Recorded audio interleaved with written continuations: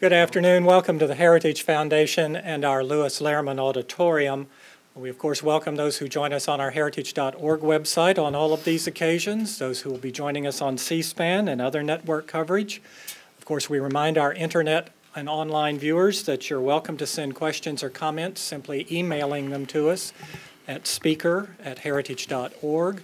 We will post the program soon afterwards for your future reference. And of course, please double check that our cell phones have been turned off as we all start the program. Hosting our discussion today is Helle Dale, Senior Fellow for Public Diplomacy in our Douglas and Sarah Allison Center for Foreign and National Security Policy.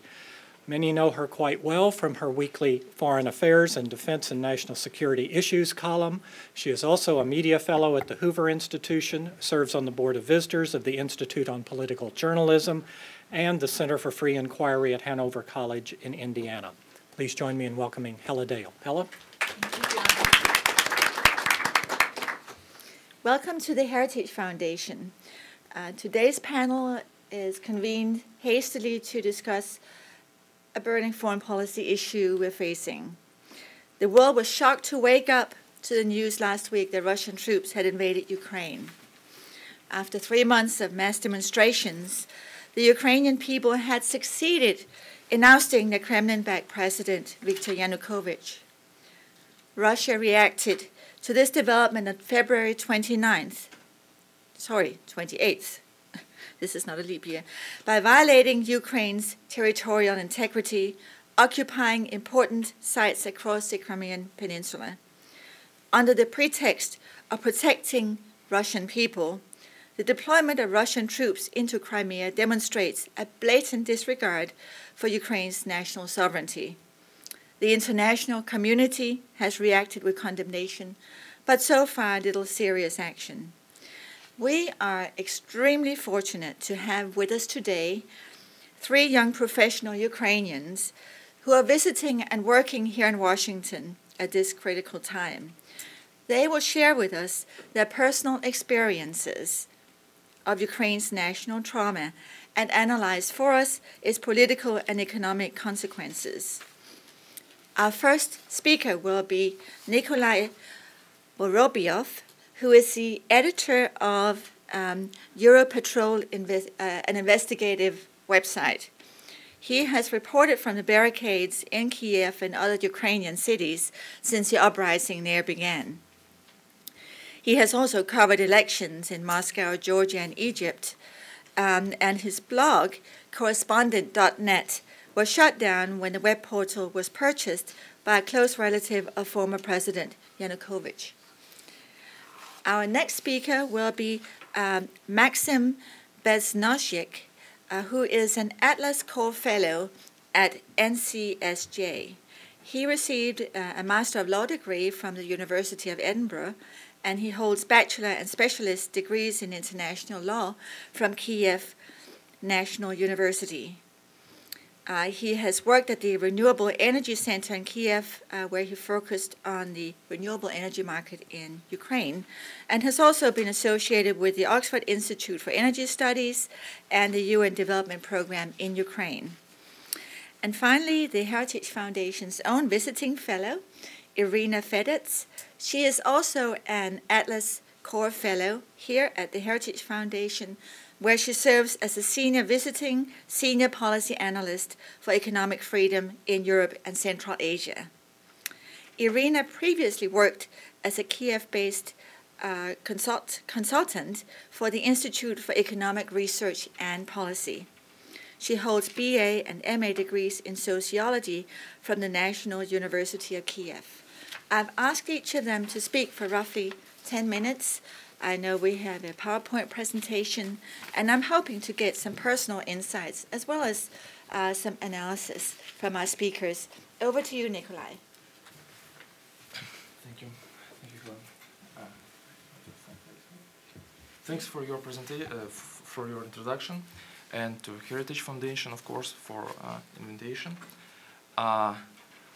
Uh, I'm Nikolai Vorobiov. I'm Ukrainian journalist. I came to Washington D.C. three three weeks ago, so I just operate with uh, latest information, uh, what's going on inside Ukraine, and uh, I I stay in touch uh, in my uh, with my colleagues in Kiev and like southern Ukraine, also Crimea. So just quite familiar with the situation. I've been working science uh, 2009 after receiving my master's degree in uh, Ukrainian uh, National University. Uh, well, actually I have a presentation, but it's like a little bit huge, so I want to focus mostly on practical things.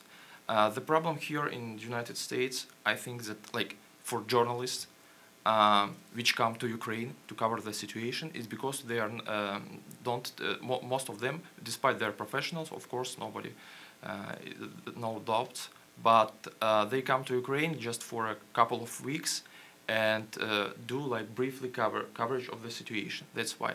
So I, the, my suggestions always to the journalists here, it's just to make more stories uh, than news. Maybe I hope so. So I would like to start with prehistory about the situation in Ukraine. And first, the three myths. Since I'm here like three weeks, I want to uh, uh, present you three myths uh, in uh, American society about what's going on in Ukraine, and simultaneously I want to destroy it right here. So the first is that Ukrainian people state, which are staying on Maidan still now, till now, they are uh, for uh, signing. They went for uh, for signing agreement of association and be a member of European Union. So now we are. It's not true because people now on Maidan and they started it. Yeah, maybe the beginning was because of this uh, association agreement, and uh, because uh, the president decided to, by his own, to refuse to sign it. But the main idea why people stay there is because of their freedom, rights, and liberties it's like for Western, I can say it's like Western values because like our system, our political system uh, is corrupt, our judges are also corrupt, and so on and so on. So people stay there just for freedoms. Not, it's not about the membership of about some like piece of paper. Uh, yeah. Uh, the second is um, uh, the membership. We are not talking now about uh, Ukraine to participate in European Union because I mean, because for now, uh, it's, it's uh, impossible.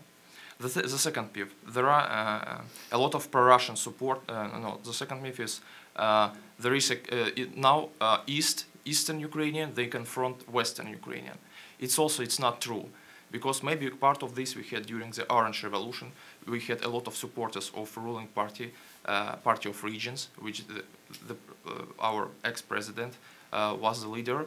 But now it's not confront between East and West. It confront between like uh, people and criminals. That's why. So uh, in our previous government, they were, uh, as I, I mentioned, it was like completely corrupted and completely criminal people from Eastern Ukraine. But it's not about the confrontation betw- between two parts of Ukraine. The Ukraine is, uni- is united for now and for sure, and South Ukraine as well. And the third myth, uh, there are a lot of pro-Russian supporters in Crimea and in the east. It's also not true, because uh, the problem is the lack of information. Uh, 70, up to 70% of Ukrainians they have never been abroad. Uh, on the other hand, we have like uh, maybe 25 to 30% of pensioners, people who are, which, who are over 60. So they are they could be simply manipulated. Um, first of all by Russian media, by Russian media channel. That's why, that because of lack of information. But I talked to my friends in Crimea, in eastern Ukraine, and they they, they, they don't want to part, to join Russia or have like Russian troops in uh, their own uh, city or country, of course. And uh, uh, talking about Crimea, people are interested to get profits during the res, uh, season, uh, summer season. Друзі, поправте мене, будь ласка, у мене англійська мова дуже хромає. uh, tourist season. Yeah, they, they want to, to get profits. And when like uh, potential tourists see what's happened in Crimea, there are like some banderas or like Ra Russian uh, troops. Nobody will go there. That's why people worry about their profits because uh, 70% of uh, local population in Crimea and this peninsula uh, they live because. Um, they live because of these profits from tourism. Yeah. Uh, well, uh, I have also short presentation. I mean, I will be shortly, and some statistic. Uh, sorry, sorry, sorry, sorry. yeah, it's some statistic just to understand the situation, and it's not very good. So according this, we we just 30% of Ukrainians they live below uh, uh, the poverty line. That's why the population is really poor.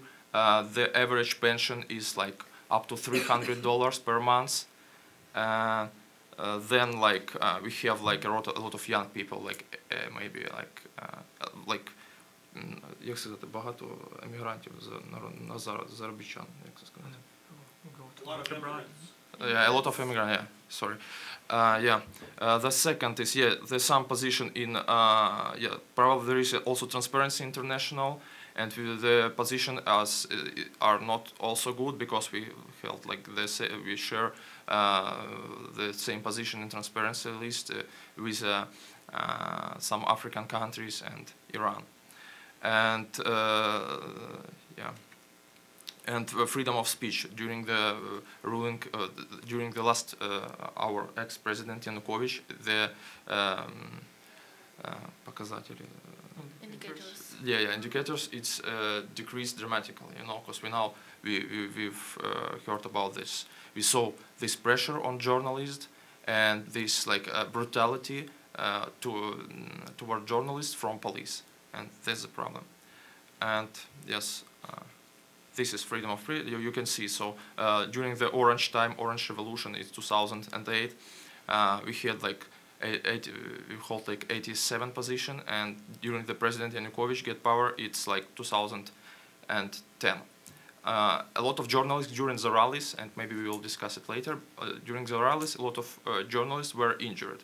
I will explain you how what happened uh, when uh, a lot of foreigner foreign media they came to Ukraine and they were they are also experienced. They say we've been in Iraq, we've been in uh, Afghanistan, we've covered the situation, so we are okay. We are experienced enough, and you shouldn't just to or rather recommend us how to behave. But then they, they turn out that it's not good for journalists, especially during the clashes on Hrushevskoy Street, which not far from Maidan. It was not good idea to wear the jackets before because when police they started to use traumatic uh, guns, the, these guys in jackets they were shot first. That's why. So I don't know the next survey of freedom of press. And maybe yeah, it's also from the presentation. Maybe this is famous. Actually, they, all of them are wanted. So maybe if you saw them, please let us know. and of course, our president. So yeah. So uh, this is the people who are. Uh, to, to our, we are concerned that there are people that are responsible of massacres in, on Maidan Square. There is our former Prime, Prime Minister, Mr. Azarov, and former uh, Minister of Interior Affairs, uh, Mr. Zakharchenko. Then the next Kluyev, the head of administration, president's administration. And the second is, uh, the first, fourth is Akhmetov. He is a billionaire and he, he was the main oligarch which supported like ruling party of regions. That's why. So we are concerned that the people are guilty and they should be punished because like of massacres. And like maybe mm, then. Uh? Well, um, just another minute or two. okay. Uh, uh, well, so, uh, sorry, so so much information. Uh, uh, well, uh, there is also we have um, I, I also heard this question here in the United States why Maidan still like, for example, Orange Revolution, the camps on Maidan, it was like for two weeks. The, it lasts for lasted for two weeks, and Maidan lasted. It's still lasting. So like uh, we determined like uh, several uh, several typical uh, tipping points of Maidan. You can find it here. So maybe for example, November 22 is the first protest. I want to emphasize that the first people who went to Maidan because the president he resigned to uh, uh, sign this he refused to sign this agreement of association. The first people it was not, it were not more than 300 protesters. Then November 30, when police brutally beat these people, and most of them there were students. They lived in the camp which they uh, established, uh, the stand they established on Maidan. So then on the next day, we had up to uh, half a million people on Maidan Square, and nobody left. I, nobody left after this. Yeah, some pictures. Yeah, then December 11, Uh, it, it was the second uh, uh, try of police to, to put out protesters from Maidan. And uh, another tipping point is December 24, when our famous journalist, she was, uh, she, Tatiana Chornovol, she was kidnapped and brutally beaten by some like gangs. Nobody knows their name, but she's famous in, she was, she is famous in Ukraine because uh, of her investigation on the luxury house of our uh, former president Yanukovych in Mezhigorye. Probably you've heard about this place. And yes, some pictures and the protests around Ukraine. Yeah, so here you can see fir uh, first uh, four uh, vic- victim, uh, victims on Maidan. So they were killed on Hrushevskaya Street uh, in, in January 22. And yeah, it's really significant that one of them is Mikh- Mikha- Zhiznevsky. He is natively he is Belarusian. Another is uh, Sergei Nigoyan. He is Armenian.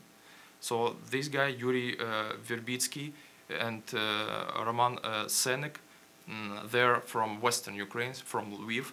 For example, Yuri Verbitsky, he was not killed on uh, directly on Hrushevskaya Street on Maidan. He was kidnapped and brutally beaten. But according the uh, official statements of uh, our uh, our interior ministry on that period they say that he was he, he died not because of brutally beaten but because he was frozen. It was very cold outside that's why. Uh, he was kidnapped with one of my friends. He is Igor Lutsenko. You can see him on the meet uh, and uh, Igor Lutsenko, he is very popular uh, ac- activist in Ukraine, and uh, when he disappeared, uh, a lot of like a lot of media they started to to looking for him. That's why he probably may, because it's one of the reason. Despite he was beaten, he was released. That's, he could survive, but unfortunately, Mr. Verbitsky, he was dead. And Dmitry Bulatov now he is a uh, minister of зараз була Sports and culture. Yeah, uh, cultures, yeah. Mm-hmm. Yeah, very open-minded, very young man. He is a brave man. Uh, he was also kidnapped and tortured, and he is uh, during the uh, Like, uh, he was a head uh, of a movement called AutoMaidan, which so-called like cavalry of Maidan. So people take their cars and make some like um, protests near the houses of our like officials, top officials and international reaction. And yes, some units of Maidan, it could be also very interesting for you because we had this AutoMaidan, which I mentioned. Uh, then the unit special veterans of Afghanistan, like I mean, it calls so-called self-defense. So Maidan should, should, like a lot of people who were killed late in February 20, they were from self-defense. So people with just uh, щиты sh- shields, yeah. So yeah, and one of them, this veteran of Ga- Afghanistan. As far as you know, uh, we had Ukrainian troops in Af- Afghanistan during the uh, Soviet invasion there in 1979 and 1989. So yeah, it's like people who are uh, uh, like soldiers who are experienced like from um, ba- battlefield. Yeah, so just shortly and two more like uh, yes like Spilno TV this uh, it's uh, it's very popular now in Ukraine. It's a stream directly from what what happened in Maidan right now. So you can just Google and find this. And what was that called again? it calls Spilno TV okay. Spilno TV you can find it. Uh, unfortunately these tents it's, there actually it's their tents but it was burned. Uh, mm-hmm. I think people might like to be able to do that. And I hate to interrupt you, but we need to make sure that your colleagues um, it's okay. Yeah, or, or I can finish. We can ju- oh, just few sentences about this. Absolutely. the current situation. Well, let, let's focus. Yeah, and this National Guard, guard and these the medical volunteers, that really brave uh, young um, uh, men and women, and they just help people, injured people, and because it was dangerous for vi- uh, for injured to uh, f- for injury to get them to hospitals, you know, because the same time police will come and they could take it in in jail right from this from the hospital despite they're injured so uh, a few hospitals were crea- uh, established created uh, uh, on Maidan particular on and these volunteers they contribute a lot to to, to make it possible uh, well and just um, coming back to uh, the uh, the current situation. So, uh, so uh, as far as it's, it's changing uh, all the time, so uh, our uh, mm, conclusion are the following. Uh, despite Putin has withdrawn his uh, military from eastern Ukrainian border, uh, they uh, increased the number of troops in Crimea, and according to the last statistic, it's like up to 30,000 uh, uh, of soldiers. And now uh, the, the, another tipping point for us could be the next referendum. I think that my colleague uh, Maksym he will tell more about the referendum, yeah, which is scheduled on. Uh, yeah, he, he will give he will give his Additional. оцінку. Yeah. And yeah, so uh, the, the, referendum in Crimea in uh, March 16, and the, second the second key, uh, people continue to protest on Maidan right now, and just demanding to not only to change the faces, but to reset all the system. Uh, uh, some statistic, it also could be interesting for you that when Maidan has started, it was like we have two, two oppositional leaders, as far as you know. Before Miss Timoshenko she was released, we had Miss Yatsenyuk, leader of Batkivshchyna, uh, Miss, uh, Mr. Uh, and uh, former heavyweight boxer Klitschko. And the, the just the support, uh, the like the explanation why people went to Maidan. That's what the following. That like only five percent on Maidan were there because of politicians. It's clear, yeah. I mean, so people stand there because of their rights, because of Ukrainian prospects in European Union, but not because of politicians. So only five percent. And maybe like some, I maybe some just uh, last but not the least, but some weakness point of for now, like maybe some uh, з- з- слабкі сторони революції, як це сказати? Weaknesses Weak, weak sides. weak sides of revolution or something. So, uh, uh, despite that, uh, our former president he resigned and ju- he left the country, the system remained the same. So now we have only changes of faces, and I mean, uh, um, if uh, Miss, Mr. Yanukovych he was a godfather of some oligarchs, now Timoshenko probably she's a godmother of some oligarchs because they made this the same business during 19th. Uh, that's uh, that's why people demand new leaders, new activists, and new politicians who never been in the parliament at least. Uh, the second is uh, uh, that uh, mm, nobody, despite these massacres on Maidan, nobody still were punished. I mean, among people, I mean, who shot the people. So these people are are, are not in jail. I think we need, Uh, I, I, I hesitate, hate to do this, but we, we must make sure everybody, uh, we hear from Yeah. everyone. Thank you so. Yeah, sorry, and we, we can leave for discussion. Yeah, I know, that's no yes. Well, Thanks. please, uh, Maksym, uh, over to you. Oh, thanks. Uh, thanks to the Heritage Foundation for giving me this opportunity to share some of my opinions on the current situation in Ukraine, and uh, um, I will I will uh, try to be brief as possible so that you could ask us some questions.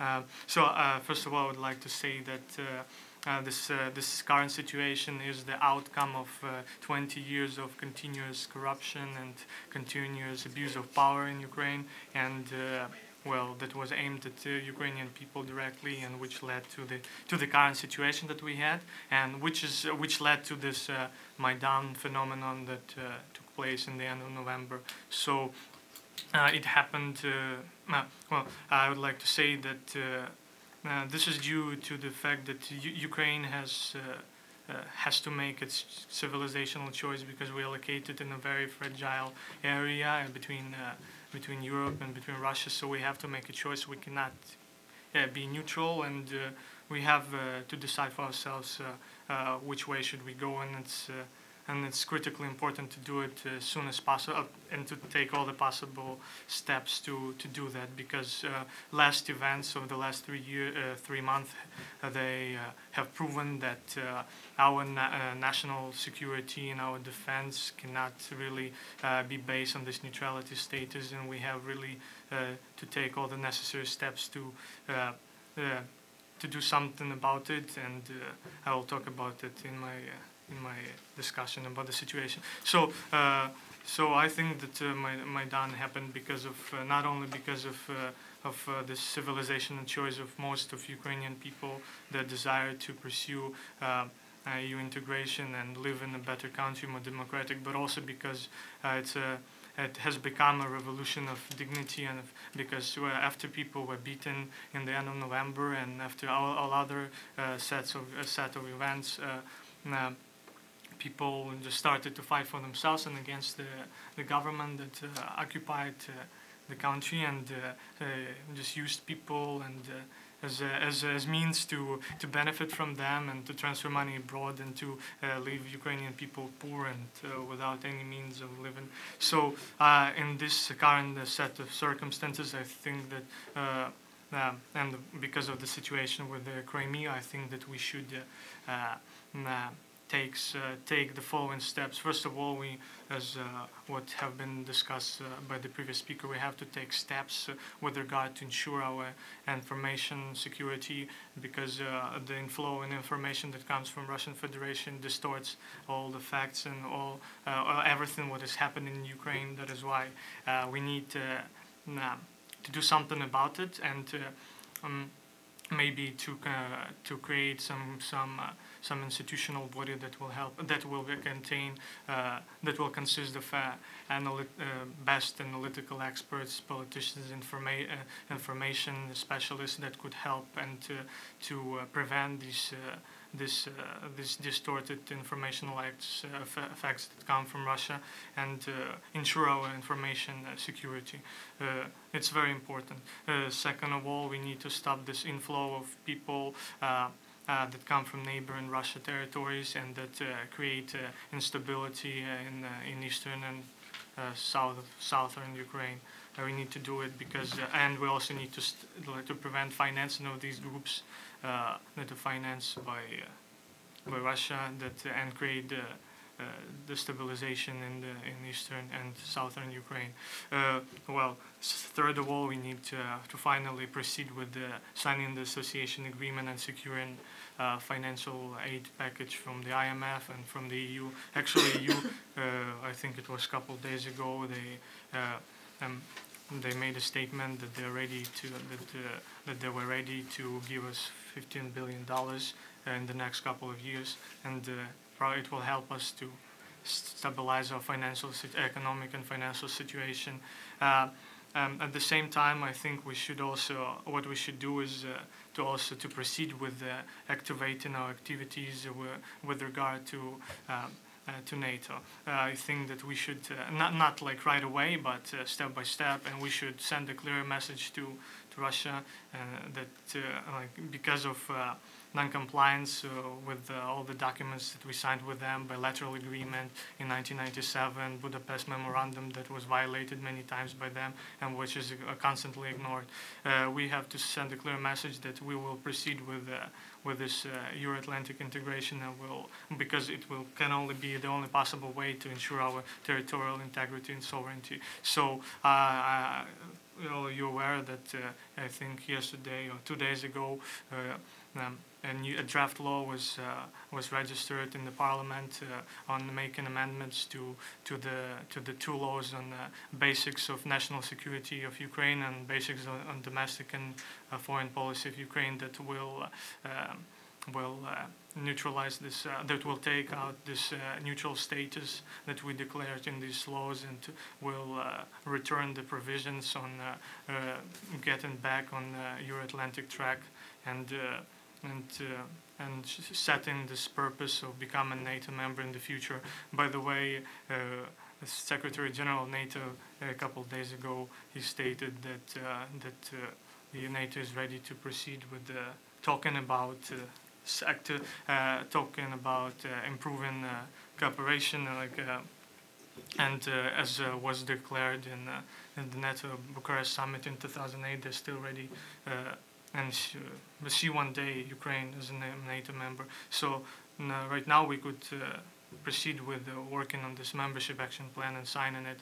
Uh, because all we know, all, is, all, all of us know that uh, in 2006 uh, Yanukovych he went to, to Brussels and refused to sign it. 2013 he refused to sign the association, agreement. So he uh, is the person that really destroyed this uh, dream of uh, Ukrainian people of uh, becoming part of the of the Western world and pursuing this. I think it's important for Ukrainians to make this civilizational choice and and uh, do something. Uh, about the future, and I don't see the future of Ukraine as a neutral state or the state that is integrated in this Eurasian future Eurasian Union. So I, I see no future in that. Mm, so and also we uh, um, in the short and middle term perspective we should work on securing our energy security we should uh, uh, we should activate this uh, this implementation of this uh, reverse flow arrangements that were uh, that were agreed by the by the Ukrainian by the Ukrainian side and uh, Slovakian side. Uh, Slovakian uh, government they expressed their readiness to proceed with this, with allowing 10 billion of cubic meters of gas to be transferred um, to Ukraine, and 5 billion we agreed about 5 billion of cubic meters of gas with the German company RWE. So it's like 15 billion dollars. So in order to achieve that, we have also to to take necessary steps to modernize our gas transport system and ensure uh, ensure this reverse flow of gas back to Ukraine because Russia uses all all, all available means to um, to uh, to put uh, economic and energy pressure on Ukraine and uh, everyone knows that we are completely dependent uh, uh, um, on Russian energy imports, so we have to do something about it. Increase energy efficiency, involve, engage with our European and American colleagues on on conducting energy efficient and energy saving uh, measures, implementing these technologies in Ukraine,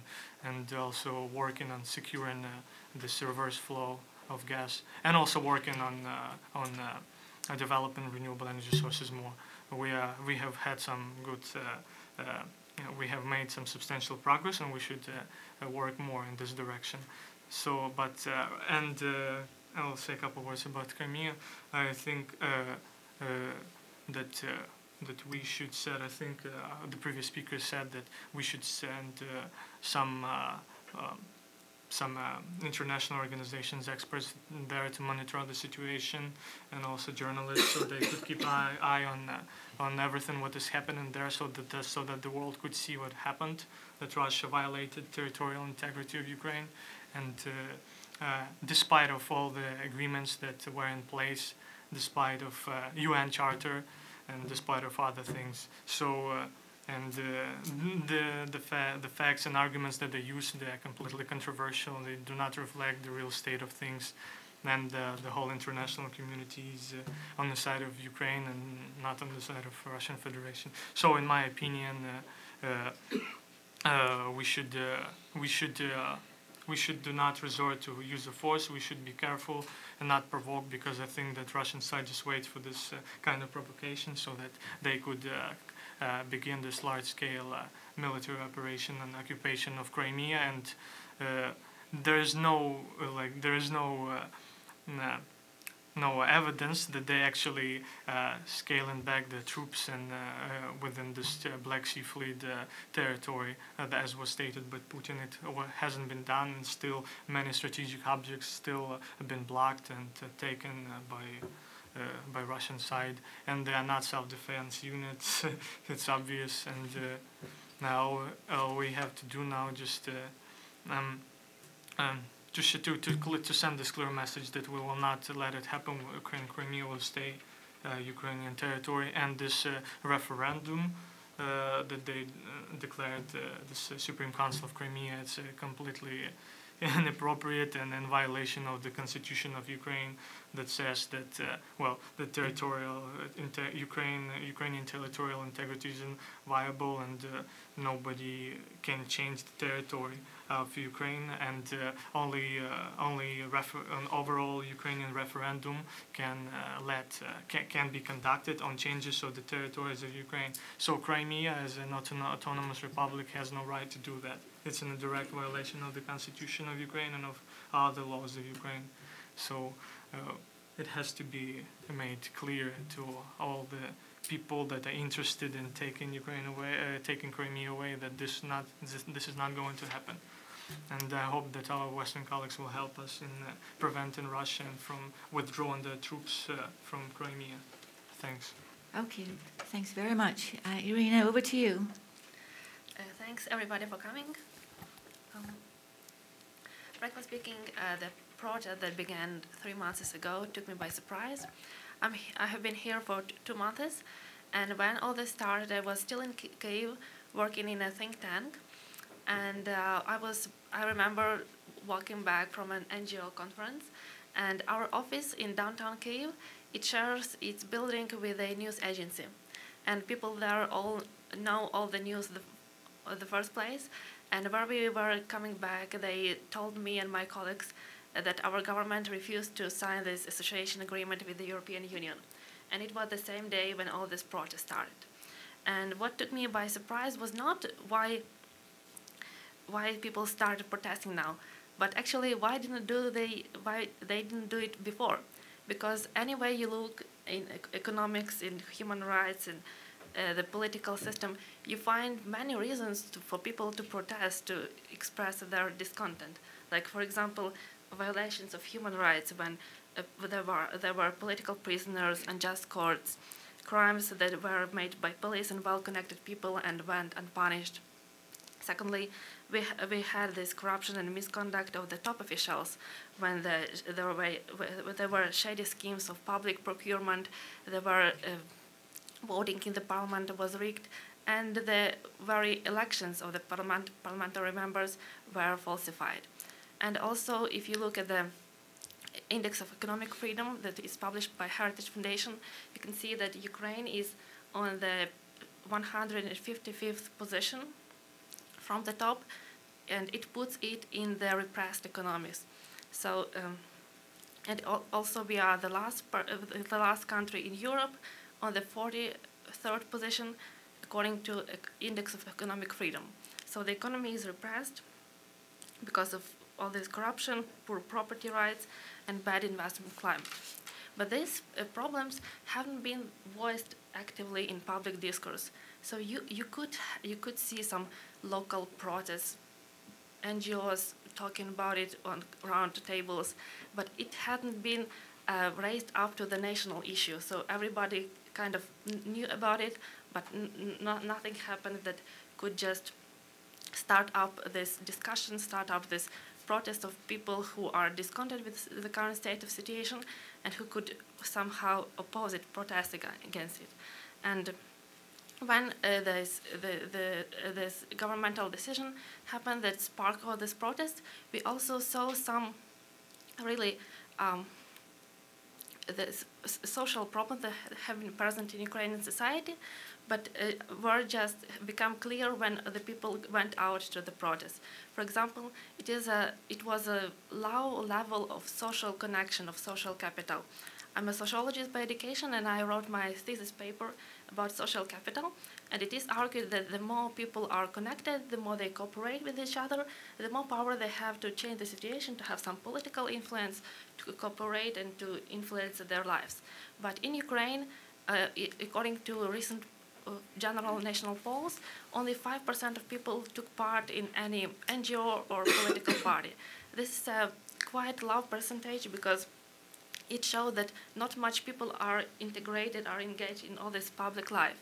And when you, when the sociologists from my university made a poll at the beginning of December of the people who were in downtown Kyiv uh, protesting on this Maidan Nezalezhnosti Square, the poll showed that 92% of them, so almost all of them, came there by themselves. So they were not joined by a political party or representatives of some movement or NGOs. So they uh, were just individuals who came there, there and who just decided to join the protest, to join this, this movement. And so what it means for, for the process, that they had little organizational and cooperational skills because when you are an NGO member, when you have connection with the people, you know how to do it better, you know how to organize events, how to coordinate people. And for most of them, it was the, maybe the first case when they were a part of community doing something. They were together moving towards some goal. And also it means la lack of vision, because when you communicate with people, when you have a common case, common organization, it means that you have some goals, some uh, something that you think that should happen later. They, they have their demands like resignation of the president, uh, parliamentary elections, freedom from repression, and justice for those who were guilty in these crimes. But what lacked was uh, the vision on the future. What what do we want instead? Like, uh, what what do we do, what what do we do when the guilty are punished, when the government resigns? And still, it could be even seen now that we have a new government, but still all this its agenda is still under discussion, and it's only now happening this process that our new constitution, our new laws are just drafted, and everything is just beginning to to be discussed. And the second moment that uh, was clear, that became clear at the protest, that we lacked political leadership, because there, they, there have been three political parties that were in opposition to the former president, but I couldn't say that they were the leaders of the protest. So they were kind of separate from the people. They were present at this protest, by the, but they were not considered to be the one who led the people. So the lack of leadership meant that uh, that there was maybe a lack of cooperation between the civil society and political leaders. And then now when I look back at the protests, I think that maybe if there was more cooperation, more trust, more experience of of politicians and people working together, then maybe those protests could be fast, could succeed faster, could be quicker, could could somehow may, maybe avoid these losses of lives or these tragic events. So for, for this, uh, this, this protest began a spontaneous uprising of people who were not normally politically active, uh, but who were not guided by any political force. So on the other hand, it gave them this independence opportunity. Uh, as, as it was said that they didn't come, people didn't come there for to support some politi political figure. They came there for their, for their own goals, their own agenda. And yes, what should be mentioned that uh, we, uh, the protest lacked uh, effective communication. It was somehow influenced by the censorship on TV channels when you could find only maybe one or two channels that uh, air this, uh, the, the events from the, from the protests, but other channels that were controlled by the oligarchs who were close to the former president and the, his entourage, they aired sitcoms and TV shows when there were people killed on the streets of in Kiev. So uh, people uh, and, uh, in the national scale, they didn't have access to this information. And the, there is also one thing that you can see only when you go abroad that I only saw it when I came here that there is lack of information in English, like the, the one that you can uh, show, you can communicate internationally. Okay, I know Ukrainian, so I follow Ukrainian news, I follow social media, but when it comes to English speakers and the international community, they have been getting this information, um, I, I could say like a, via the second-hand method, so from other people, from bloggers, from some po political journalists like this, so they didn't, they did not have the access to this, to the source of information, to this uh, objective, just news as soon as they emerge. Now the situation has become better, maybe due to to the work of journalists here and in, in other countries, and on the other hand, on, because of the work of volunteers who translated the news as soon as they arrive. But at the beginning, it led to this somehow distorted image of Ukrainian protests. At best, they were seen like um, people gathering together to enter the European Union, but at worst, they have been seen like some uh, narrow group of right-wing people just fighting for power. While by the time the, the by this time there were the people have been actually uh, struggling for political change, and the protests have been going on in Kiev and in other cities of Ukraine, and all kinds of people were participating from students to the middle class to the workers and to the retired people and war veterans. And but what also surprised me positively about the protest that people proved to be very efficient in their cooperation and organization. You have heard about all these groups of volunteers and med medical groups and self-defense groups. It started as accommodation and food for the protesters. Uh, people started bringing warm clothes and medical supplies, and eventually it evolved to this whole system of informational hotlines makeshift hospitals when you couldn't go to the normal hospital because you were under the risk that you might be kidnapped by a police person. Um, self-defense groups because there was no police defending people, and if there was, it was actually attacking people instead of defending them.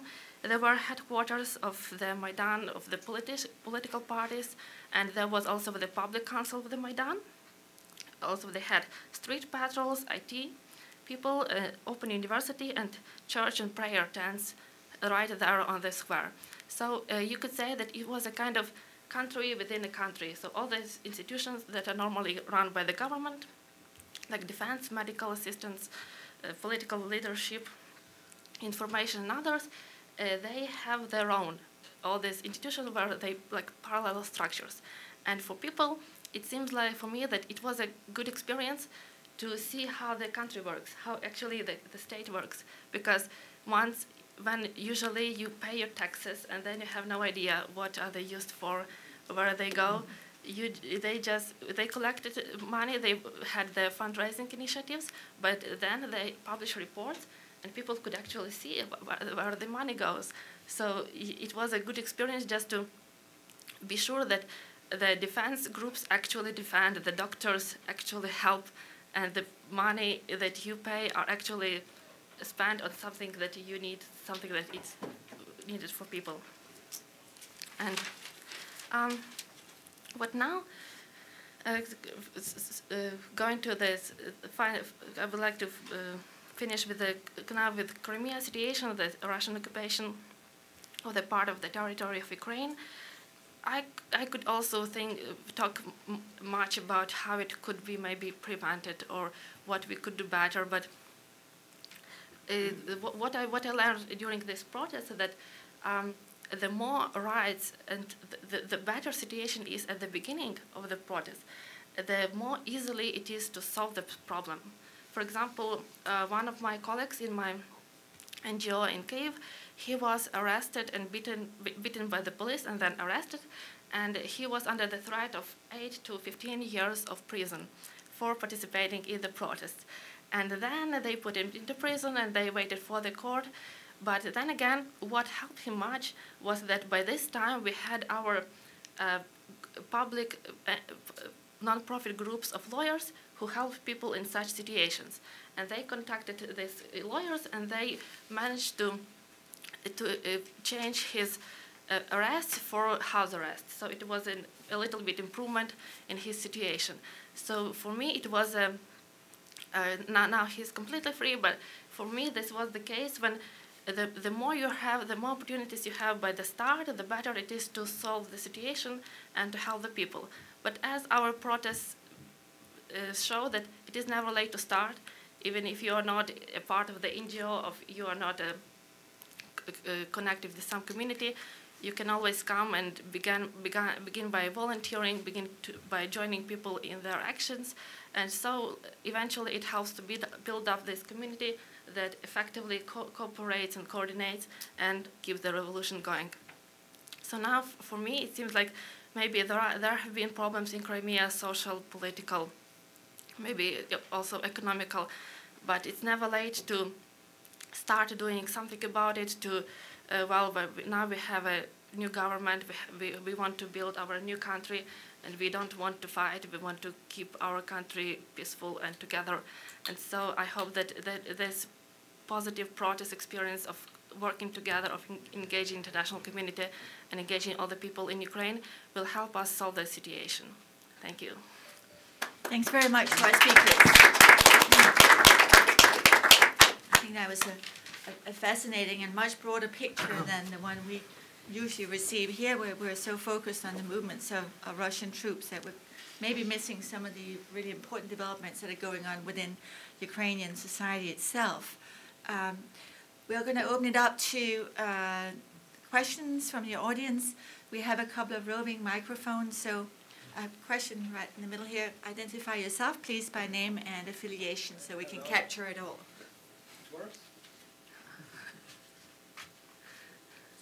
Okay, so uh, my name is Bartosz Szydliński. I'm uh, my name is Bartosz Szydliński. I'm visiting researcher at Georgetown, but in Poland I collaborate with uh, one of the biggest friends of Ukraine, namely with Aleksander Kwaśniewski. So also a very loyal ally of the United States during war on terror. Uh, for the reason that we are in think tank, because in Poland we fully support your fight. You know that we know this is not only about the future uh, Ukrainian state, but it's about the values. But from the reason that we are in the think tank, I would like to add something about this weakness of the, your revolution. Namely about the two political powers in Maidan. They don't have a lot in common with such values as freedom. Namely about the Svoboda party and the Pravi sector right? The right sector. They basically, especially the right sector, is not only anti-Russian power. This is anti-freedom, anti-human rights power because they're also anti-European, anti-Polish. So I would like to ask your comment about such powers as Prawy Sector and Swoboda Party. Thank you very much. Thank you. Uh, well, thanks for your question. I, am I'm, I'm concerned that it's not a uh, it, it's not the worst. yeah. Um, well, about right sector. Uh, uh, Russian media to, like to use it. I know. Well, let's say uh, mm, every country, every uh, every city, and even in Poland, have its radicals. Everywhere, even in Poland, even in Europe, in Greece, in Germany, everywhere.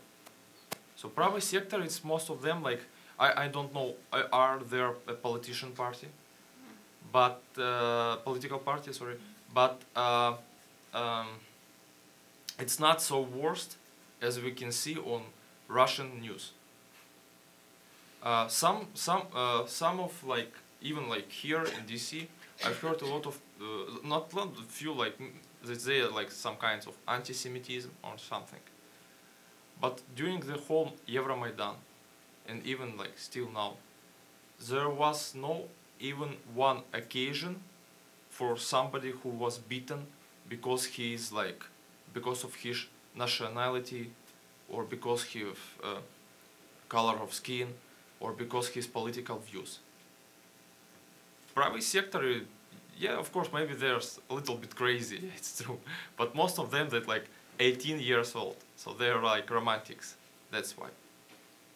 On the other hand, a lot of these romantics, they love their country, and they were killed and injured during the clashes. So if you will go there to right sector and you can say I'm Jewish or I'm American or you can get directly to their tent or just to take to, to their leaders, I'm sure they won't beat you or do something harmful. That's true. That's my it's my own experience. So I don't advocate them. I don't like this balaclava and I don't these radicals and some like slogans. Maybe it's not so good for European audience. But like basically like yeah, it, it happens everywhere, but they're they're we can say like maybe peaceful, yeah. So like in this meaning, so it's it's not so worse. And maybe you want to add Do you want to something, add Michael? anything? Or? I could just say that uh, the right-wing groups, they have they are not mainstream political parties in Ukraine, and they still, on, on the latest election, the Svoboda party to take ten percent of the seats in the parliament, and I don't see there many perspectives for them in the future Ukrainian uh, pol- politics because it's my, my, when you have revolution, when you have this dangerous situation, it's good to be near a guy in with a beat and with something to, to protect you, and who, who who are going to like football hooligans or something like this, who are going to to, to, to be good at clashes with the right police, but when the peaceful times finally, hopefully, come, I don't think that it, it they will evolve to a some kind of mainstream political party. I think so. And as far I wanted to add, because I remember this Warsaw, it was uh, Euro 2012, and the clashes, so your fans also don't like Russians fans, yeah. I remember this bridge. I, don't- I don't right in Poland as well. So, Okay. I mean, of course, okay. Yeah, well, we certainly see those reports here too, and it's interesting to, um, to get your further information on the uh, motivations and influence of these groups. Um, we have a question over here uh, on the left. I am. Uh, thank you for coming to DC, and we appreciate your time here. I am Mr. Lloyd from the Philippine Daily Inquirer. Uh, my question is about uh, your former leader, or shall we say, Viktor Yanukovych. Is there no action or initiative from the Ukrainian people to file a case against him regarding all of these corruptions that he have done to the country and also the mass murder of the protesters? Thank you. Yeah, sure. Yeah, Actually, yeah, if you go to the website of Ministry of Internal Affairs of Ukraine and you type his name, you will see that he is on the most wanted list now. So, and his picture is there. So he's, uh, and uh, Ukrainian side also filed uh, this uh, case, this informational case to the international police, Interpol, and uh, I think that if he is in Russia, they'll have to uh, extradite him back uh, to Ukraine because we, due to our intergovernmental agreements uh, on extradition of such people, and I hope that he will be sent back and will will uh, be punished for all crimes that he did with all other his people, uh, that uh, in, in his entourage, and uh, yes, so so he's on the run, but he's the most uh, like he's the he's wanted person. So charges uh, are there. I'm wondering, i- i- only he or? Uh, Uh, also no, Do you- They are in the whom else process. Officially. Mm. Uh, Officially, it was former uh, Minister of Zakharchenko. Interior Affairs, Z- Mm. Zakharchenko. Who else? And and And uh. Pshonka, yes, the, the former prosecutor for general general prosecutor of prosecutor. Yeah. They are working on it, uh, but it's uh, the work is has been very slow. They have to like accelerate the efforts because these uh, these guys will just leave the country, and actually Yanukovych left, and I think others also left. And uh, Well, the, the Russians don't seem to be much in a, a cooperative mood, unfortunately. well, Um, we have a question back here from Voice of America. I'm Catherine Gibson, Voice of America. Nikolai, I was wondering if you could talk a little bit more about the experience as a blogger and the thing that was mentioned in your introduction about getting your blog shut down by a crony of your president. If you could just talk a little bit Okay. more about your experience in, in that. Uh, okay, I will be brief. Uh, probably you know this, if you monitor Ukrainian media, you know this website, it calls Korrespondent.net. Uh, the owner of uh, this media holding, the former owner, he he's uh, uh, sell, uh, sell, pardon, sell, sold his uh, sold his this uh, media holding, which included Korrespondent, few radio station, and few newspapers. He sold it the, to to another uh, businessman close to president's family. And on this website korrespondent, there was famous one of the famous blog platform.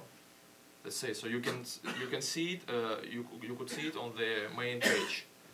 Uh, after this new owner took office, they they try they even established some kind of like uh, censorship department. So now nobody they they just shut down. I mean they just shut down blog platform despite a lot of famous people just right there. They just put it in some way. I mean, it's, it's impossible to find even for me. Maybe it still exists, but it nobody will read it. And nobody, they, it probably korrespondent, they had the, the both uh, website, korrespondent.net, and the famous uh, magazine. It's like maybe it's for middle class, you know, it's for Weekly, yeah. yeah, like or a weekly. Uh, yeah. So uh, and now nobody just read it. That's that's the story. And what was your role there? Sorry. What was your role there? I was a blogger, one of the bloggers on the platform. Yeah, yeah. So you can find it, or if I want after afterward, I can send you Okay. links. How about the website you're currently editing? Have you experienced interference with that? Uh, I mean, uh, mm, sometimes I write like kind of freelance, Mhm. and um, the problem in Ukraine that there are, I, I don't know, because everything is changing like all the time, but not so many online media which are still objective. We can just mention only Ukrainska Pravda, Radio Svoboda, LBUA, Mhm. like not not many. There's M- a- maybe my colleagues wanted to add something, but yeah, not much. so what else? So it's like up to. Probably I will try in Washington Post. Uh, question down here in the front. Thank you. Uh, my name is Vitaly Shpak. I'm from Ukraine, but currently doing my master's here at University of Maryland. My question is quite a provocative one, but I believe you are the right audience to ask it. Ask it. Um, let's imagine for a while that referendum that is going to happen in Crimea very soon, it is it is legitimate, and uh, observers, international community recognize that it is free and fair, and people vote for joining the Russian Federation would you accept this referendum? And uh, do you think that this might be a solution for current crisis to some extent? First, to prevent turning Crimea like to, to another Abkhazia or Transnistria, and secondly, given the fact that uh, the Crimea is, is the only place, is the only region in Ukraine that, where the majority actually are Russian nationals, not Russian citizens, but Russian nationals. Thank you. Uh, first of all, uh, the referendum, like I've said before in my uh, in my speech, that uh, referendum on uh, on territorial issues c- can only be conducted at the all Ukrainian level, at the Ukrainian level. Okay, it cannot be conducted like that, it, and it will be considered Let's illegal. imagine. No, you cannot imagine something that is against the constitution of Ukraine. The uh, article, I think it's two. Let me check. Article seventy-two, I think, and uh, uh, well, I'll even tell you in a moment. Uh, okay, Article two of the Constitution of Ukraine says the territory ter- territory of Ukraine within its borders, it's like uh, it's united and it's, it's you cannot like it cannot be violated. Okay, and according to the Article seventy-three. Uh, um, the, the Constitution of Ukraine uh, uh, decides uh, the issues on the on the issues uh, the issues of territory of territory of Ukraine of its changes or other things uh, changes can only be decided uh, during uh, Ukrainian national referendum. So it's pri- it's legally like uh, impossible to do that, and if it's done, it will be considered uh, illeg- illegitimate. So yeah, Russia just uses it just uh, as a precondition uh, to still keep. Uh, How about Russian constitution? uh, well, you, Crimea is a, is a territory of Ukraine. You cannot decide issues of territorial integrity of territorial issues based on uh, the decisions of the Supreme Council of Crimea. It's it's it's foolish. I talked with my friend from Simferopol yesterday, and she said that I was asking her about this referendum thing, and she said it's already decided. Like it, either way, people vote either either way. That they definitely, even those who are against joining Russia or being kind of a separate country or autonomous uh, structure, uh, they are very disappointed, and um, they do not even hope that this referendum will show that maybe even if if people would be pro-Ukrainian or like, wouldn't be able to join, wouldn't would be willing to join uh, to to stay in Ukraine, and uh, this referendum is seen by the general population like the thing is that is already decided, and maybe you have seen the funny way they they they, they word the questions in the bulletin where there are only two options. Do you want to join russia or do you want to become a, a separate country? And there is no option to stay like it is like to stay in ukraine. So the bulletin is very manipulative and you cannot as a sociologist i would never ever let somebody word the question in this way. They adopted the resolution and, uh, annexation to Russia. At the same time, they want to conduct referendum. Yeah. You see, there is even a contra- controversy in doing this, in, in this fact. But despite this, referendum will happen. Anyway, Uh, Yeah. like, well, and it will happen in nine days, guys. In nine days. So I think that the best solution, despite the violation, yeah, they, they will just organize it. But I mean, the, the best solution now, I think, is to make it as transparent as possible. To send a lot of journalists there, activists, uh, members of uh, international missions, yeah, maybe observers. I mean, because we couldn't cancel it. Anyway, it, it's it's illegal. But yeah, the question, your your was question, what if? Yeah, what if it happened? And it will happen. We, we understand. question is, would you accept Nobody accept, people's of course, decision- of course. Decision to join the Russian Well, what Of course. decision? It has to be To- done at the international level. It Yeah, cannot yeah, be I done. understand, but Yeah. just, uh, my question is, if people vote Are we to for law join, against the law? would Let's you just. personally uh, accept their decision? You cannot accept Yes. the decision that is like uh, even before is uh, considered as uh, illegitimate. So of course I will not accept Probably that. the most correct will be just ask ourselves what we do after it, after 16, after March 16. We have to do what Having like have 30,000 of troops in Crimea. That's that's the question. We have now to act for me. now and don't wait for this 16th of March. Okay, well, we have uh, reached our hour. Uh, Should we take one last question down here, and then we'll wrap up? Hello, uh, my name is Batu Kutelia. I'm from Georgia. Uh, uh, I'm with McCain Institute. Uh, so, uh, I have a question on the what is the public perception once now rather started to discuss the changing non-alignment policy and joining NATO, renewing the Ukraine's attempt to join NATO, and what is the uh, let's say public mood in this regard. But before I hand, also I would like to comment briefly on the previous question. Uh, of course, uh, none of the referendum could be considered legitimate once it's conducted under the gunpoint, and that's purely the, the most uh, uh, strongest argument uh, while denouncing the outcome of this referendum. Maybe I will comment Okay, because NATO membership. Who wants to Actually, I? I, I'm, I'm sorry because I don't have the recent data. Bec- because we have uh, usually have this survey that uh, monitor people's attitudes to the European Union, to, to the NATO, and to other entities. Uh, uh, according, uh, speaking about the European Union versus Eurasian Union with the Ru- Russian uh, eastern countries, if, if the recent polls show that about two thirds of people supported European integration and one third of people overall Ukraine supported Russian integration. And but uh, speaking about the NATO, I, I personally think that the attitudes will change now more in favor of the of the NATO because yeah because people see that uh, we need this cooperation, we need to be to, to protect ourselves, we need to be more integrated in international community, international defense systems, and yeah, so uh, while I don't know the exact num- numbers for now, I can just assume that it will gain more support, uh, seeing that uh, all this Russia occupation is going on. Uh, yeah, I will also comment on that.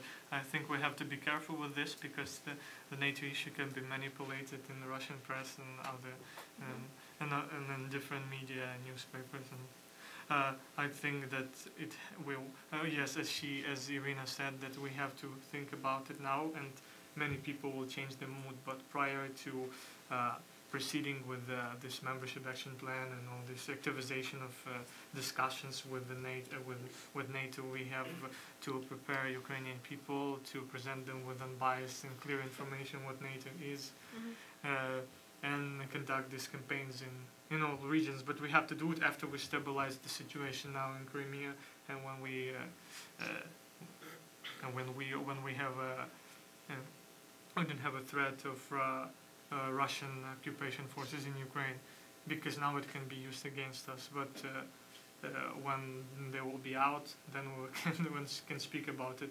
And but uh, like I've said before, uh, this uh, draft law on making amendments to two two laws of Ukraine on basics on national security and on uh, basics on uh, and domestic and foreign policy of Ukraine. These amendments will will will change will amend the provisions that we're talking about neutral, neutral status and will change and substitute them by the provisions on uh, pursuing NATO membership in the future. So it doesn't say that it will happen right away, but we have to think about it, and I think we should send a clear message uh, uh, to Russia that uh, we will, and to the world that uh, we will proceed with it because, like all the all the inter- intergovernmental agreements, uh, international agreements, they didn't really help us uh, to to preserve our territorial integrity. This Budapest memorandum it was useless even though we gave up our nuclear weapon, which we had the third largest nuclear uh, energy uh, nuclear potential in the world. We gave it up, and uh, and we it was uh, based on the condition of getting assurances of. Uh, of not non-violating of territorial integrity of Ukraine from UK, US, Russia, and then France and China joined this Budapest memorandum later. So, but you see now, now uh, Russia is obliged to conduct discussions with us, consultations on this in case if, if uh, the threat of territorial integrity happens, but they are a violator of, of, of this memorandum of UN Charter and of our uh, intergovernmental agreement uh, um, that was between Russia and Ukraine that was signed in 1997.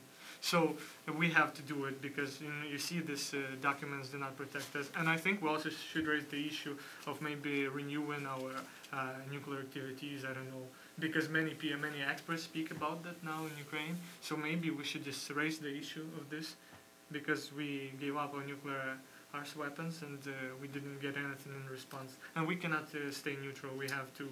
Uh, I think we should be integrated into NATO uh, in the medium-term perspective. Not right away. We cannot do that now. It will only harm our interests. So we should do, we should slowly uh, uh, do it. And uh, by by signing this membership action plan, we then can proceed uh, uh, with uh, with with this uh, other EU pro- pro-European integration issues. But uh, right away, uh, right now, we should also sign an association agreement as soon as possible, I think, and then also uh, move on to proceed with the membership action plan in the near future. And by the way, uh, NATO halted uh, consultations, uh, civil and military consultations with Russia just a couple of days ago uh, until the this April summit. But uh, but NATO sent a clear uh, message that they, uh, they that they are interested in conducting now, uh, improving cooperation now with Ukraine. Even though it's now it's even now it's okay. We have Na- Ukraine NATO annual programs and we closely cooperate. Ukraine has partaken in all NATO activities and has been an active member in all these operations like Active Shield, uh, Thank- thank you. uh, I- I- Ocean Shield, and others. Thank, thank you, Maksym. I think we'll let um, Nikolai also weigh in on this as uh, our last uh, work of word of the day. Uh, I'm familiar with your country, and of course I have Georgian roots. And yeah, and, uh, just like short remark because we have now we have a lot of parallels like Crimea and Abkhazia, and Russians they use almost the same schemes like they did in Abkhazia. And just to make clear what could happen with Crimea in social media, like now in Ukraine, we share a lot of what, like uh, uh, Pictures modern of- yes. fo- pictures of Abkhazia. I mean, Abkhazia it's a part of Georgia actually, and um, uh, it was one of the most popular, probably most attended resort during the so it, it, it's situated on the uh, bank of uh, uh, Black Sea, on the coast from Black Sea, and uh, it was occupied by Russian. And now this territory, despite they were like the most attended, it was the most attended resort during the Soviet times. Uh, it was really depressed region now. I mean, so it, it, it could be good example for people in Crimea how Russian care about territory, what do, what they occupied. Okay. Thank you very much, Olivier. Thank you to our panel for great insights. Thank you, Olivier, for coming.